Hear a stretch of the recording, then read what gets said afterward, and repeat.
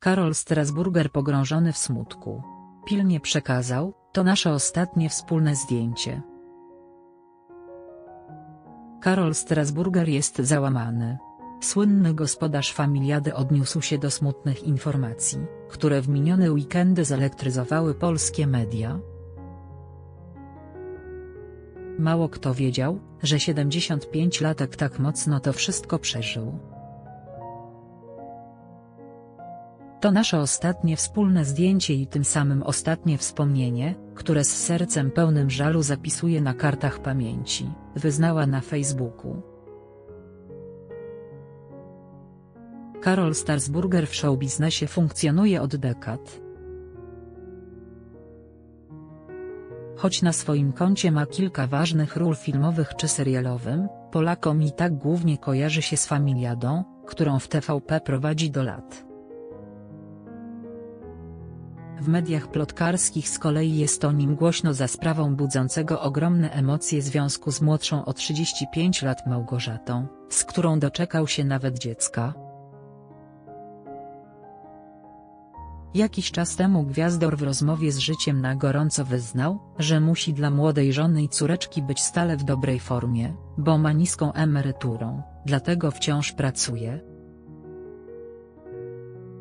Karol Strasburger przybity śmiercią przyjaciela.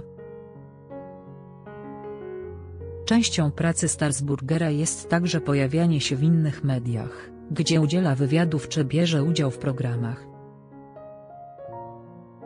W trakcie nagrań poznał przez te wszystkie lata wiele znanych osób z branży. Z niektórymi z nich nawiązał nawet wyjątkową więź.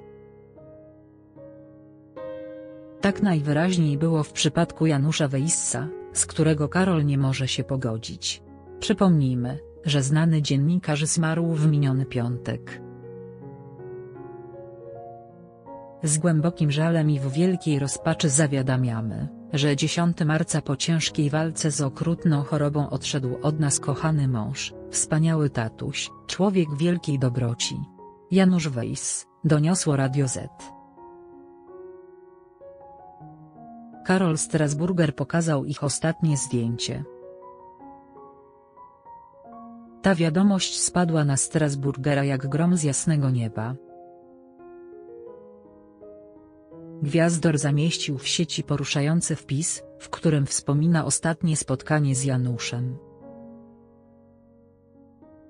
To nasze ostatnie wspólne zdjęcie i tym samym ostatnie wspomnienie, które z sercem pełnym żalu zapisuję na kartach pamięci. Rok temu u Moniki Tarki, w towarzystwie Zygmunta Heisera w Radiu Pogoda bawiliśmy się w wielkanocne teleturnieje. Dziś, po latach fantastycznej, dziennikarskiej ale i artystycznej kariery kabaretowej odszedł ktoś, przez duże K, Janusz Weiss. Najsłynniejszy w Polsce człowiek, mędrzec, z którym przeżyłem niezapomnianą przygodę w Fort Boyard.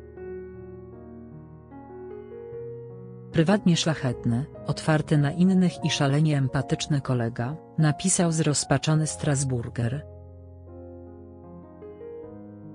Pod wpisem pojawiła się masa wspomnień internautów, którzy też są załamani śmiercią Janusza Weissa.